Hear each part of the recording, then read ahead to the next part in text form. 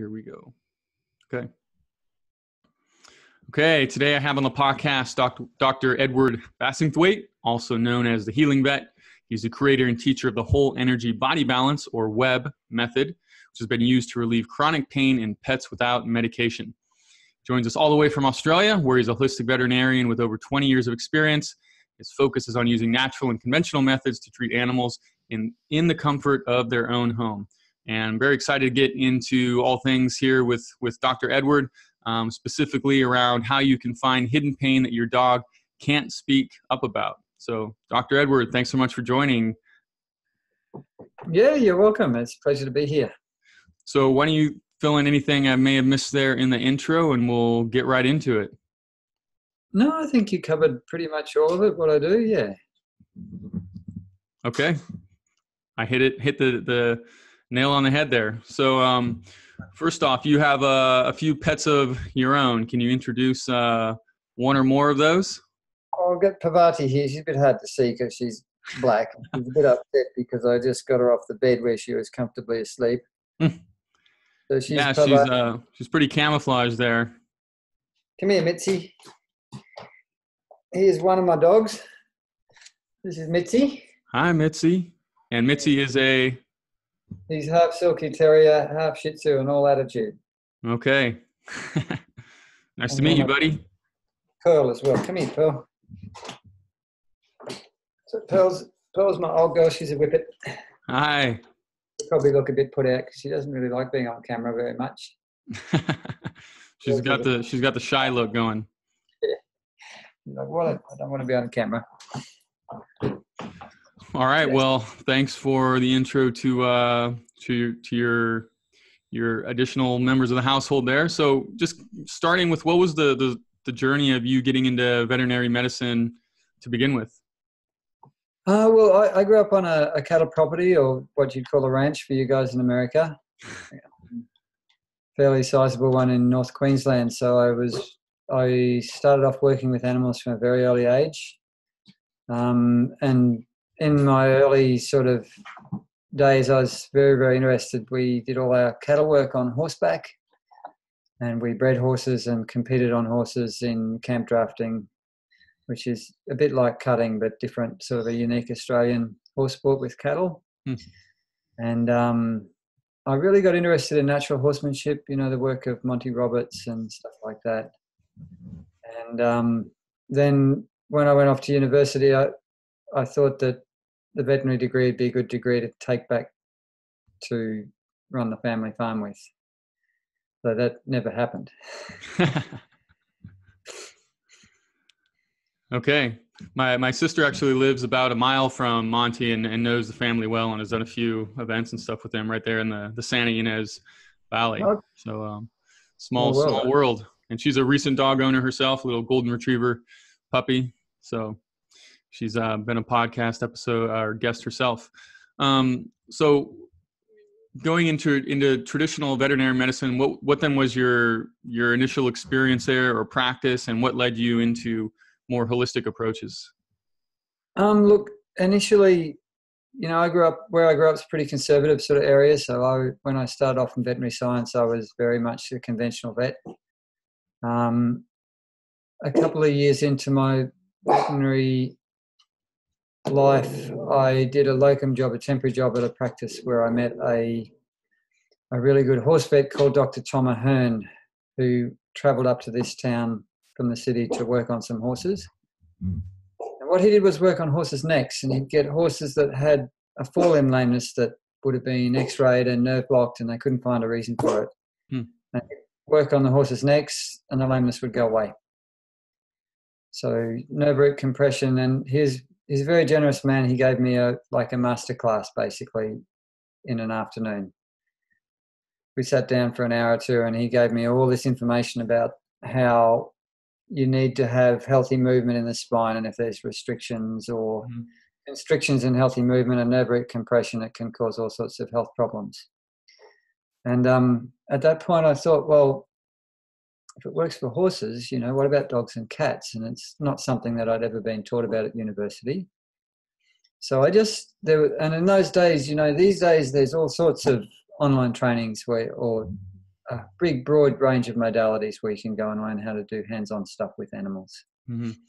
Got um, a whole lot of you got pet massage over in the states, uh, myotherapy, uh, trigger point therapy, acupressure, Bowen, Emmett, and what I teach, the whole energy body balance. There's a whole lot of things, but in those days, it just wasn't anything. So I got my started putting my hands on dogs and exploring with my hands what was going on with their spine and their body in a, in a deeper way than I got taught how to at vet school. Mm-hmm. And I started finding a whole lot of interesting things in that a lot of these dogs had pain and tension in their bodies that wasn't obvious unless you started to really sink in and palpate in a really focused way to find out what was going on. Hmm. That's probably my first step into more holistic stuff. Then I went and worked in the UK and did a lot of temporary jobs for a while. And after about a year and a half in the UK, I got really unwell myself. Hmm. I I had what I thought was chronic fatigue syndrome at the time, though it's probably Lyme disease as well now. That I look back and having had really good response to Lyme herbs, I'm assuming that I had Lyme as well. But um, I was really, really, really unwell. You know, um, my mum and dad came over to visit me in the UK, and they took me home. And I don't know if I would have been able to get home without them. I was so sick. Wow. And I had a couple of years where I couldn't work at all, and had Western medicine helped me with some of the symptoms initially, some of the problems, and then it's like they what they had no more answers. But I was still really unwell, so I started exploring a whole lot of alternative stuff. You know, supplements, diet, um, and energy healing and things like that, and found that they made me feel better. Hmm. And then I just started sort of naturally integrating that in my practice, and I found that the animals responded really well to it too. So, and my journey has just slowly. I was still working in other people's hospitals at that time. You know, once I recovered enough to go back to work, I was working in conventional hospitals. A lot of them are not very open-minded to alternative stuff. So then, about um, 16 or so years ago, I started my first home visit practice, and that gave me the opportunity to start to really expand into more alternative things and start to use more homeopathy and Mm-hmm. and back off on the vaccinations and and just change a lot of what I was doing in a more holistic way. And then about six years ago, I moved from Townsville to northern New South Wales to a little area called the Northern Rivers, where it's much more open-minded community um, and a very, very big interest in natural and holistic stuff. So um, that's where the Healing Vet brand started up. And that's where I really started to expand and I started teaching whole energy body balance. And the last two years I've been in Melbourne and just earlier this year I launched the online training for whole energy body balance method as well. And we've got, you know, over 200 people from all over the world now in in the method learning and and a couple of practitioners in the UK and several in Australia and lots of practitioners in training. Excellent. And, and for those listening, they can go to webb4pets.com. That's W E B B for pets.com, which is where you have that online course you just referred to, correct? The number four in the middle. The number four in the middle, right? W E B B, the number four, and pets.com. Yeah. Yeah, that's the information page. So you can go there. And, you know, the other thing is just look me up on Facebook, The Healing Vet. Um, got a really active presence on Facebook, and I do a lot of free Facebook Live videos and all that sort of thing. And I also, you know, run a free webinar every two weeks talking about the very topic that we're talking about today, which is, I think, the most important thing that I've got to share about animals at all, which is this massive, massive problem of silent, undiagnosed pain in our Right. companion. So before we get into that, the, the first thing that came to mind when you talked about working on, on the horse, um, as well as when you then applied that to to dogs working in the in the in the spinal area was chiropractic. So how do how does um, the WEBB whole energy body balance method or your your methods in particular um, how are they similar and how are they different from traditional chiropractic? Well, they're, they're really not similar to chiropractic at all. Um, chiropractic generally is completely focused on the spine. You know, it's very much focused on finding subluxations, you know, which is a slight misalignment of the vertebrae, which then can lead to nerve root compressions and pain and dysfunction.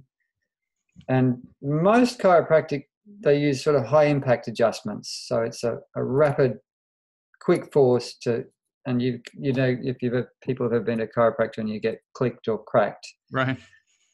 Um, and I must admit though that there is a growing sort of number of chiropractors that don't do that high impact stuff and are very gentle, which probably gets a little bit more towards what I'm doing. But I think the thing with whole energy body balance is that, for one thing, we're not just focused on the spine, though the spine's a very important part of what we work with. We're focused on the whole body and particularly focused on working with the fascia, uh, working with what I call the neurofascial network because mm. the, the fascia's got an immense amount of um, sensory and nervous tissue embedded within it. And the fascia is also this amazing, complex, three dimensional spider web of tissue that interpenetrates every single part of every living being's body. Mm-hmm. So once you start interacting with the fascia, you can, you know, you can be working on one part of the body and you can get sympathetic release of pain and tension in very distant part of the body because of this interrelation and interweaving of all the tissues together. Yeah, very interesting. Um, I've in the past I've done um, a series of ses- of rolfing sessions, and then now myself I do. I'm very religious about foam rolling. Um, you know, which is almost like you know you feel like you're really massaging, but I think more it's kind of you know ironing out the the fascia there. And and t- I mean, tell me if I'm wrong, but my visual of the fascia is like it's like one giant piece uh, sheet of saran wrap that kind of encompasses the entire musculature but I could be wrong about that. How would you describe it? Look, my, the way I describe it is that, like, if you have a muscle, yes, there is a thick layer around the outside of that muscle, but then inside the muscle, the muscle breaks down into smaller and smaller sort of blocks of tissue. Each of those layers also has another layer around it until you okay. get right down to the individual cell, which has this microscopic sort of fascia called the extracellular matrix around it as well. So it, it's and all that is connected. It's all connected, and if you look at it microscopically, it's like it's almost like the arches in a church. You get all these curves, mm-hmm. and when you stretch them and move them, they can rearrange and and and also everything slides over everything else in healthy fascia. You know, if you get the back of your skin on your hand, you can move the skin very easily. It just flows over the top. And with healthy fascial tissue, you get that quality of springy, healthy movement throughout the body. But if you get physical trauma or mental emotional trauma, then you can get that locked into this neurofascial system and you get constriction where it can't move. So that's where the hands on work with the fascial tissues. And you mentioned rolfing. I've had a lot of rolfing and I continue to have a lot of rolf rolfing work. I go and see an amazing rolfing practitioner here in Melbourne at least once a month. Mm. And part of the thing with me having chronic fatigue was that I had an immense amount of stiffness and pain and tension in my body as, as part of that disease. And um, being worked on by really high level body workers has taught me a hell of a lot too, you know, and rolfing has been a big inspiration in terms of me being worked on and me feeling these particular special forms of touch that they use that really interact with the fascia and it's definitely influenced what I do with animals really deeply. Interesting. So that's kind of that the the, the rolfing or, or, or the looking at it through the lens of the of the fascia kind of in, encompasses the physical or mechanical side of of of of what you do. If I have or some well, part it of it. It does, but then the fascia um, you know, you have these fascial trains that run through the body. There's a, I can't remember the name, but there's a book, Anatomy Trains. Myers, I think, the guy who was a rolfer who went on to do this research into the fascial structures in the human body. So you have these pathways of fascia that flow through the body, like a deep front line, deep back line. You've got side lines. You've got these are the ones that spiral around the body, and all that. Our dogs have similar patterns, hmm. but it's not just physical because they're energetic pathways through the body as well. You know, the the meridians that are used in acupuncture and acupressure follow these fascial trains. Interesting. And they've even started to find that in the acupuncture points, there's these microscopic anatomical structures where the needles are put in. So these are energetic pathways, but they're physical as well. And it's not just physical because in the body you have these special um, nervous receptors called interoceptors, which are to do with the sense of feeling. So, whenever your dog has an emotional, mental emotional experience, there's a physical feeling in the body that goes with it. You know, if you see a dog that's like this, you know you've got a sad dog, right? So there's a body posture or shape that goes with feelings, and the fascia is really, really intimately involved in in that way of holding energy in the body. And if you get a dog that's been mistreated and has got post traumatic stress, then there's a physical patterns of tension in the neurofascial network that are holding that pattern of experience or trauma in the body. And when you release it, then you can get really, really big changes in that dog's behavior.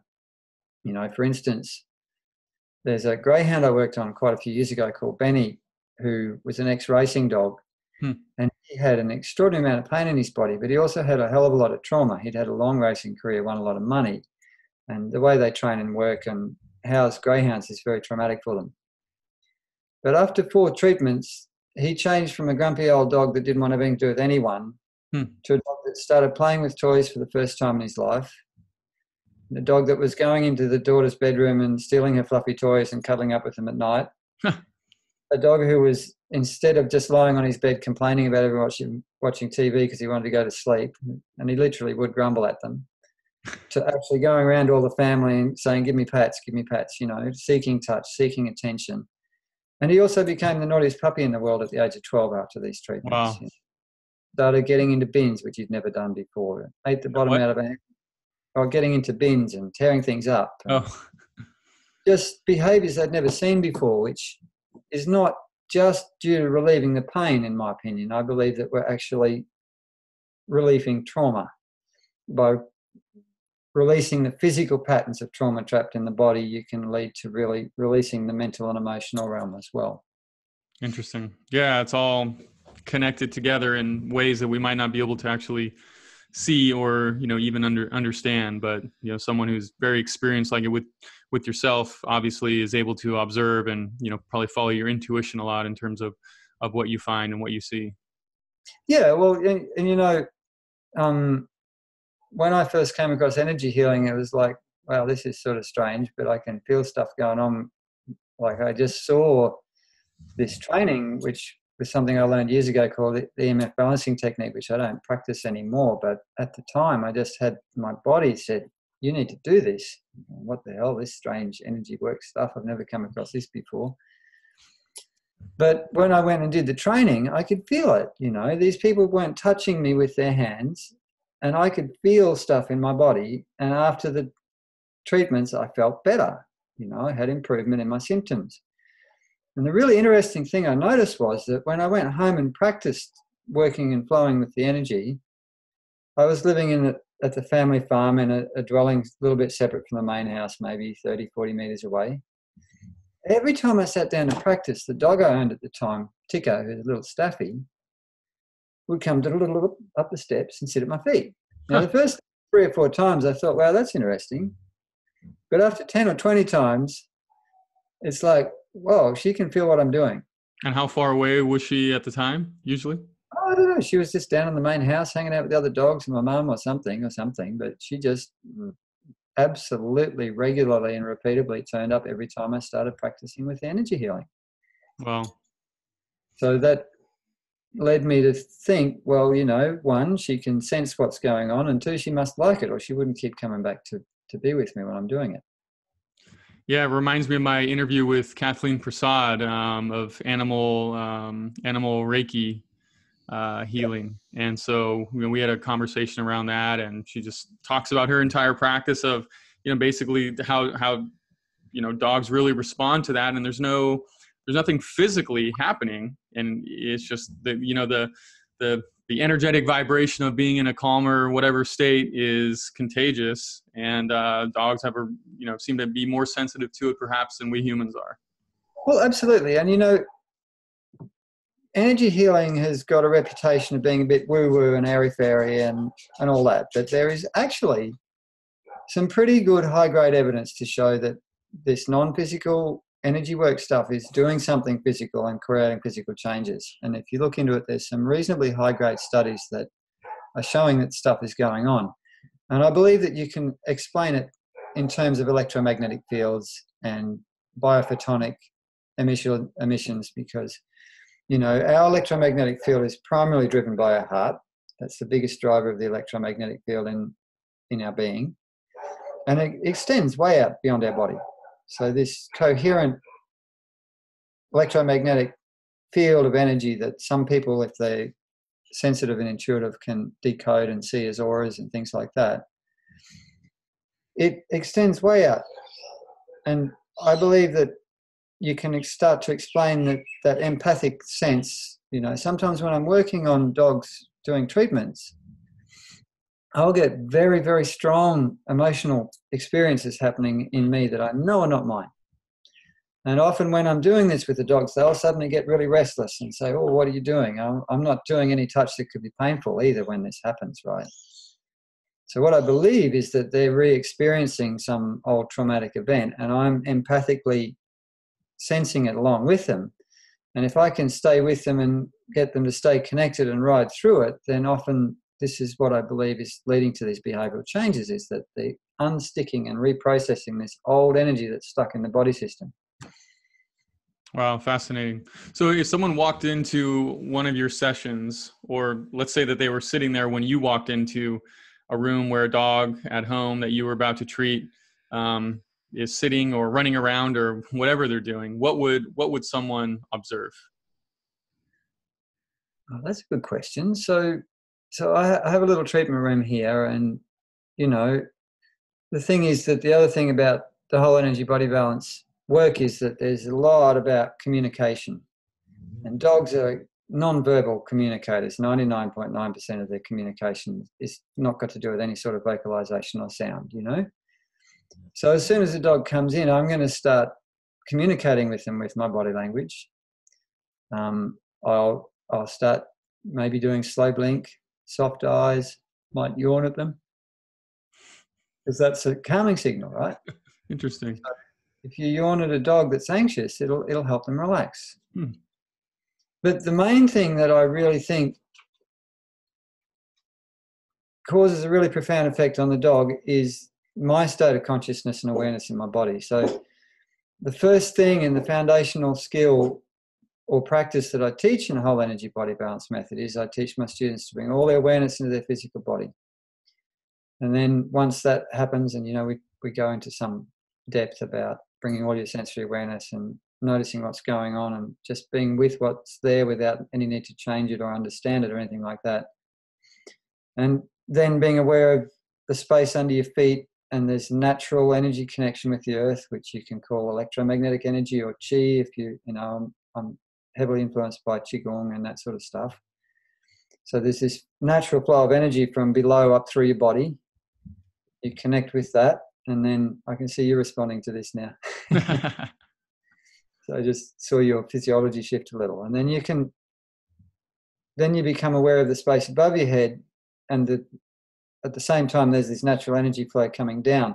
So the energy flow from the earth up through the body is like yin energy, feminine energy, and the energy from above is yang energy or masculine energy. And there's this always we always have this flow. It's always been there. It can get blocked or not be fully open. And the more awareness you bring to it the stronger it gets. And then these two flows of energy if you become aware of your heart center and feel like where they connect they then expand and flow out through your arms and hands to the dog now when i teach this you know i, I do i teach here in in my little home about every three months I do live sessions and we have, you know, six people and their dogs come in. At the beginning of the day, all the dogs are like, oh, I'm in a strange place. There's that other dog over there. I don't know that other dog. This is a bit bit edgy, you know, what's going to happen? But when I first do this exercise, You know, I'm talking to people through this experiential exercise, and all the dogs go like this. We're not touching them. So, this is the non physical thing of the energetic state and emotional state and state of consciousness of the human has a huge effect on the dog. And when dogs walk into my consult room and the people sit down, and I'm sitting at the table, you know, asking questions, and it's not uncommon for that dog to immediately just relax and do a big burp, which is a sign of really strong parasympathetic activation, hmm. which is rest and digest. You know, you, you don't burp unless you've got good parasympathetic activation going on. So the other thing that the whole energy body balance work is fantastic for is it supports really really strong somatic or body level relaxation so it's also really great for dogs with any sort of anxiety over arousal issues that sort of thing hmm. So g- going back so what i hear you saying there is you yourself get in a very grounded and and open i guess what someone might call a calm state so to speak yeah. which you hope is and expect and have observed is going to translate to the dog and so that's uh, you know you walk in for the first few minutes and maybe that's what someone sees is a whole a whole lot of really calm nothing going on um, well that and a lot of people say to me wow you know i've had multiple people say wow you're the first vet who's been able to connect with my dog like that now there's a lot going on there right so because I started off at a young age of really being very, very passionate about natural horsemanship. And if you want to work with Monty Roberts' sort of way of working with horses, you've got to get very, very sensitive to the very subtle body language cues and expression cues and changes in breathing and everything from the animal. So the touch and my state of awareness and everything is part of it. But the other thing is that I'm connecting and listening to the dog and communicating to the dog and responding to their signals the whole way through. So this is another thing that that that I teach, right, as best I can, is to teach people how to start to talk dog. So that they're communicating, and most humans are pretty bad at communicating with their dogs. And most humans have got no boundaries with their dogs, and dogs need loving, clear boundaries to be happy and, and calm. So, part of the thing that people see when they come to see me is that, wow, how do you do that with my dog? and I'm just going, well, you know, I, if it's a really pushy dog, the first thing I do is, whoa, I have personal space. Excuse me. And we'll have a little conversation about that until the dog goes, Oh my God, this human's never, I've never had a human tell me it's had a personal space before. This is kind of strange.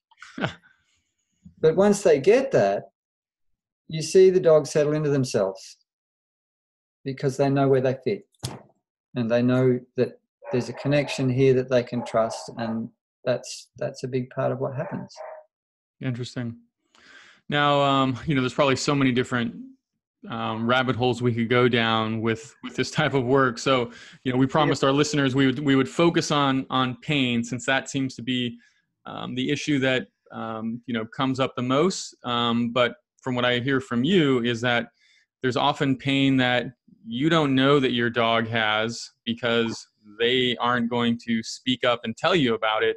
And it takes someone with a trained eye to to, to see and or sense that. So what what are some of those signs? Okay the first thing is the trained eye is pretty much useless.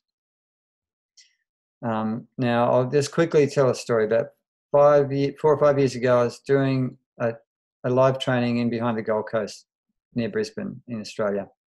Had 10 people and about 15 dogs, and Mitzi and Pearl are my demonstration dogs. They come along with me when I do live trainings.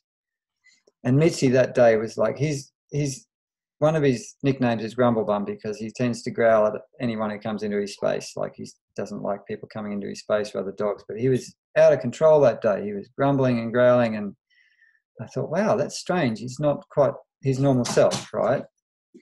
But otherwise, he was fine. He was jumping on and off the couch. He was eating. He was playing. Everything like that. So that night when I got home, I got him up on my knee and I went to check check his neck because I thought there's something wrong. And I just gently started to assess him behind his ears at the top of his neck here. And as soon as I touched him, he was like, he went all stiff and rigid and Hmm. looked at me and started whimpering. Hmm. So he had a really screamingly painful neck, right? Now, I was married at the time, so I said to my wife, um, hey, wow, Mitzi's got a really sore neck. That's strange. She said, oh, yeah, he had a terrible fall on the steps about three weeks ago. And I'm thinking, God damn, why didn't you tell me? so at that time, I thought that I could look at my dog and tell what was going on, right? And it was And, and you're you're obviously a vet at this time, so Yeah, you yeah, are the you are the trained eye that you're referring to here. That's exactly right. And I may have been suffering for, from some gratuitous veterinary arrogance, which is vets are prone to. Any professional is prone to, I think, in a way, Yeah. because you, you think you're the expert, right? But this is when I this is when I realized that the only way, the only way I can know with my dogs what's going on with their pain levels is to assess them hands on and you need to learn how to assess for neurofascial pain and neck and back pain or take your dogs to someone who's skilled in that sort of assessment because i've had multiple multiple dogs come to me who've been assessed by vets who've missed really significant silent pain Hmm. and this is not saying they're bad vets it just means they've never been taught how to assess for this sort of pain Hmm. and they're probably overly dependent on things like x-rays cts mris that don't pick up soft tissue pain they can't pick up soft tissue problems, those diagnostic tools. So um, there are some signs that I've become more aware of. So with Mitzi, there's a behavioural change, right? He was more growly and, and guarded of his space than usual. So if you get a dog that has a sudden change in behaviour, so they go from being a happy, engaged dog that's happy to hang out and play with others are suddenly standoffish or growling at other dogs and snappy or not wanting to be touched in certain part of their body or just distant and disconnected from the humans, then there's often pain underlying that. Um, another really important thing to do is look at how your dog shakes. So a dog with no pain, the, they'll shake from the head and the wave will go all the way through the tip of the tail, nice and strong and even. Starting at the head. Yep, always starts at the head. So if you don't want your dog to shake, hold it, hold it by the nose when you're washing it. Won't be able to shake all over you. But if you've got a dog that's got pain, they might just shake their head and then it peters out, or it might shake but be weak, or but they won't shake a nice strong wave of this shaking movement right through the body. Hmm, interesting. Another really important one is that if your dog, if you allow your dog on the couch in beds or in the car or whatever, which most people do, I certainly do. If your dog suddenly doesn't seem to want to jump on the couch or the bed, I can tell you it's not because they don't want to. It's nearly always because something's happened and they've now got pain that's stopping them. Because getting on the bed or in the couch is a high value thing for a dog. They love it. Yeah. And um, another, you know, another really important one is probably think about play. You know, if you've got a dog that likes used to like to play and isn't playing anymore, then that's that's something that you need to look into because healthy, happy dogs that are comfortable in their bodies play. Um, and everything's got to be right for a dog to be playful, right? To play. It's one of those behaviors that everything has to be right, otherwise, it won't happen. And one other thing to look for is this thing called a pain grimace. So if you've got a long-term chronic pain, they get tension in the face muscles. Hmm. So you see me go like this, Yeah. so you can see this fixed tension in the face. And um, you know, there's, there's there's sort of there's three main causes of this silent, invisible pain that I see. Um, so well, there's neck pain, there's back pain. They're sort of the same thing, but they're a bit different.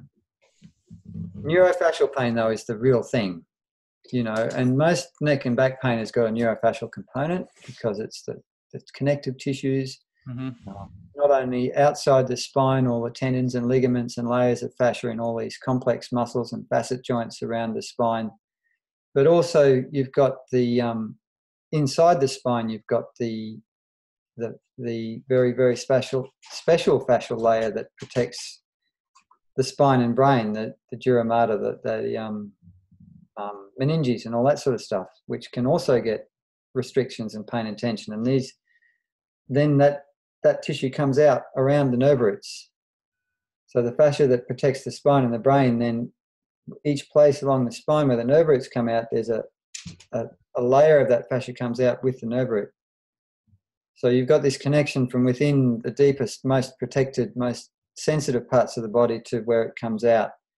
And when you work on the fascial tissues on the outside, you can actually release within the spine and brain as well. Hmm.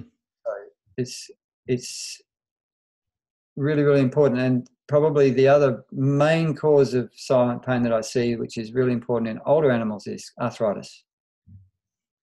But I've never seen an arthritic dog that doesn't have significant neurofascial pain to go with it. Hmm. So, and so is you, that a correlation or a causation in your view? Look, I, I don't know. I think probably, I, well, it might be more accurate to say that I've never seen an older animal that doesn't have neurofascial pain.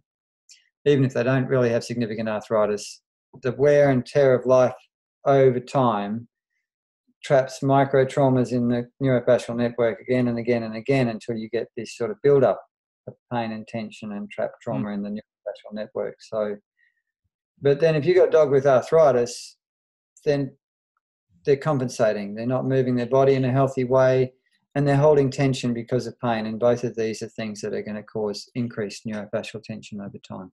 Hmm. So it's probably a, a, bit of a kind of a downward cycle in that, you know, the, the, the fascia may become tight or constricted or et cetera, which causes them to favor one side or another, which causes more load on certain joints, which causes more inflammation, which causes them to overcompensate in other areas potentially, and it's more of a cascade effect potentially. Yeah, you know, for me, from my personal experience, if I don't move and stretch every day, if I don't care for my body and maintain my body, if I don't have regular body work to get my own fascia keep it supple and open and healthy, I don't do well. And the same thing is true for animals, and that's why you know, one of my big motivations in getting this online course happening is that I want to be able to give people the opportunity to to get their hands on their dogs every day and make their life a better place. And the opportunity to be able to learn how to assess their dog so that if they can get their hands on their dog at least once a week and do an assessment protocol to find out what's going on. And if there is something that comes up, you know, then you can do hands on work to help them. Mm-hmm. If the hands on work isn't doing enough, then you go to the vet and see is there something more serious going on. You know, so it's it's really really important. And more than half the dogs I see have significant silent pain that their owners are, have no idea is there. Wow, wow.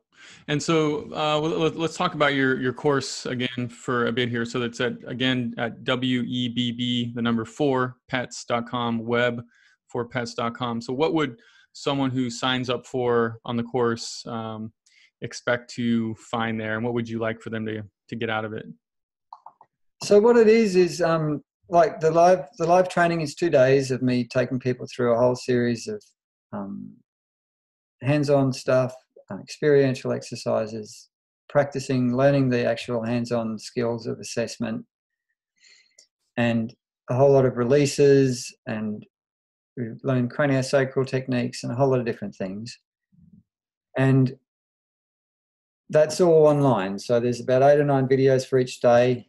As soon as you enroll, you can get started. It's all sort of on demand.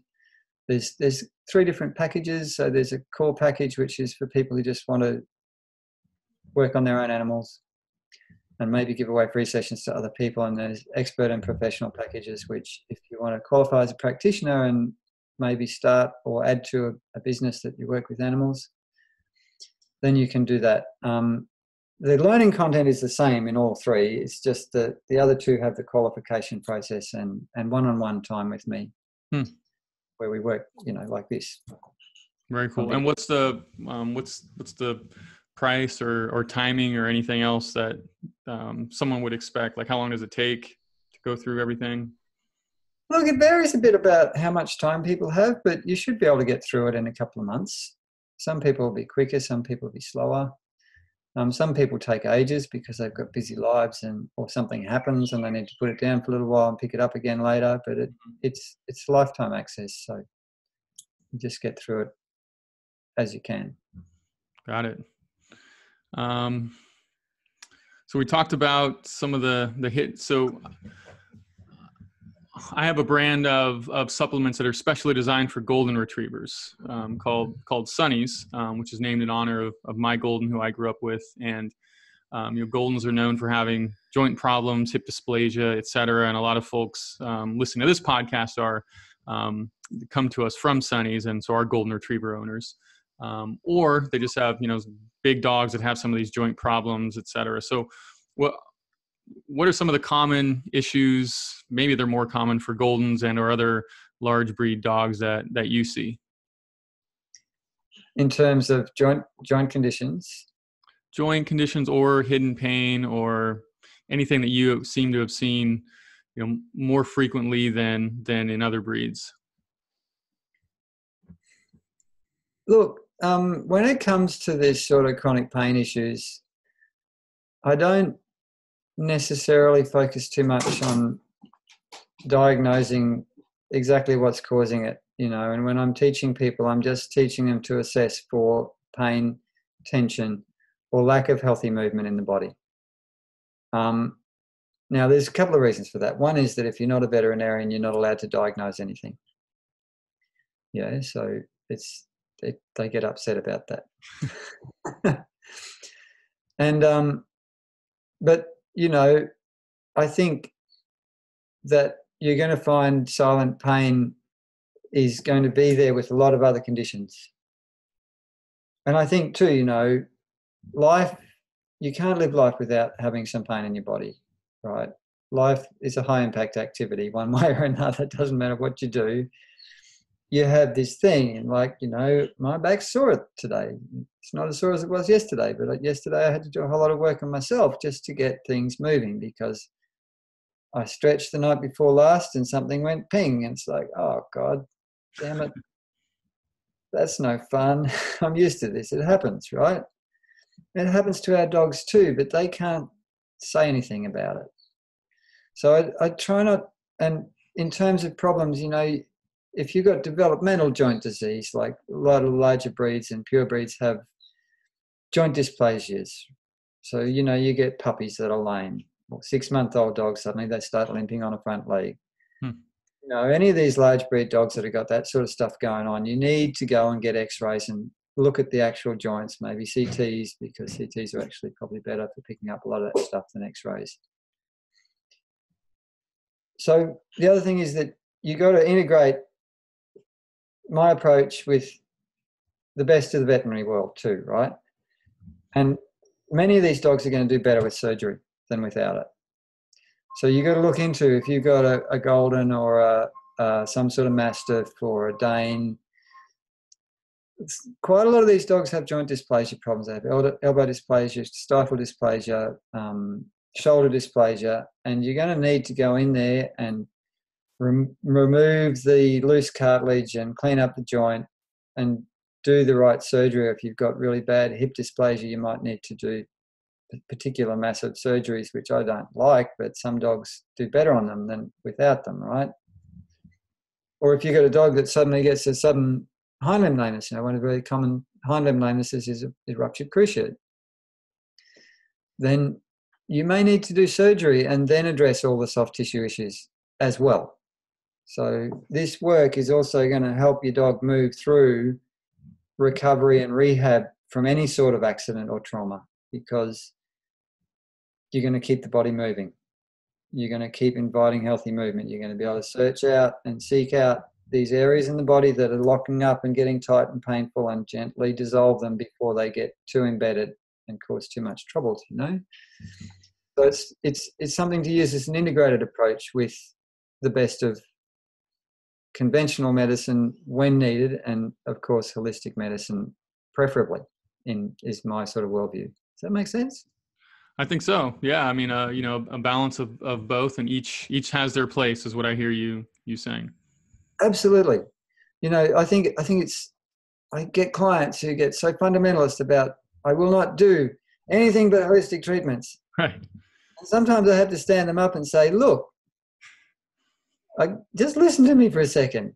you might be causing your dog more pain than you need to, or you just let's have a look at what's going to be best for your dog and not get too dogmatic about anything.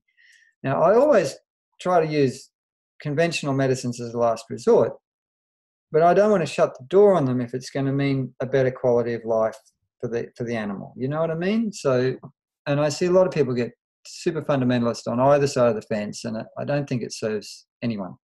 Yeah, got it. Um, from a personal perspective, you you said so. Uh, in terms of your own body work, you get rolfing once a month. What else to stay nice and loose and flexy? Okay, so I, I have a pretty intense personal practice. I get up in the morning and I do qigong. I have a qigong practice. Um, I do some sort. So I do I do some intense push-ups, as many as I can in a minute, five mornings a week.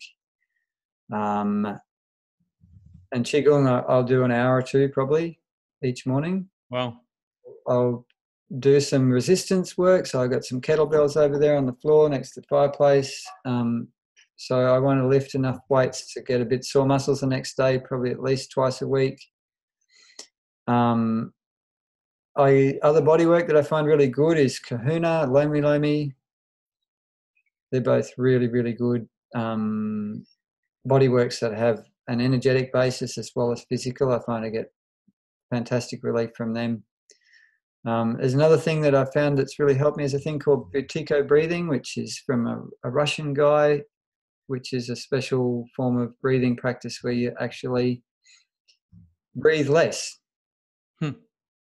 And the thing behind that is that if you hyperventilate, you wash all the carbon dioxide out of your system, out of your blood, and then that means that the the oxygen cannot get into your tissues. That the blood, when there's low carbon dioxide, hangs onto the oxygen. Hmm. So you need to. So I do, I do some practice of that every morning too, and I do meditation and and and and sort of self body work and energy stuff as well most days. So I have, have a pretty intense practice, but you know I've had pretty intense health issues, and I found that I need to do that to stay functional. Very interesting stuff. I'll have to email you separately to get the the names of all of those because there's some things there I hadn't have not heard of. Um, all right, doctor. Well, I think we've gone through some great stuff here. Uh, you know, I counted five signs that you went through in terms of finding hidden pain in your dog. So we'll uh, see about editing, uh, adjusting that headline here on the episode. But um, anything else you'd like to share with our listeners before we sign off?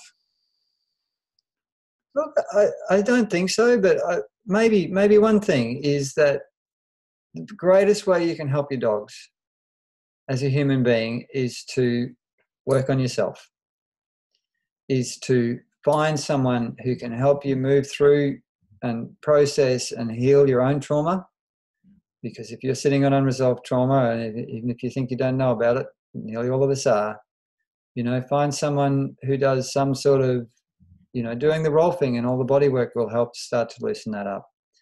Meditation, um, if you've got anxiety, go get some help. Find a professional to help you resolve and deal with and lessen your anxiety because if you live in chronic anxiety, it has a chronic adverse impact on your animals.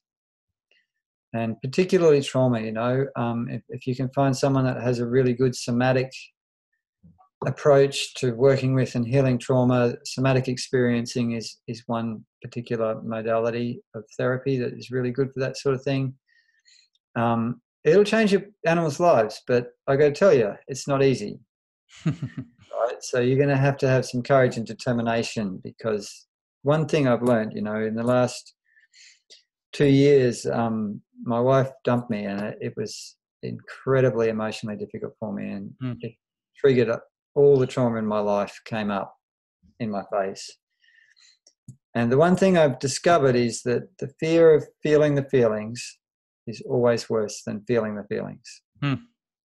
You know, we torture ourselves about how, how awful it'll be to feel anything. And then when you go and feel it, it's like, God damn, I was actually doing myself more harm and was more uncomfortable to be worried about feeling what I'm feeling. You know what I mean? And the other thing I found is that the more that I can feel the uncomfortable feelings, the more joy and wonder and beauty there is in my life. So, yeah.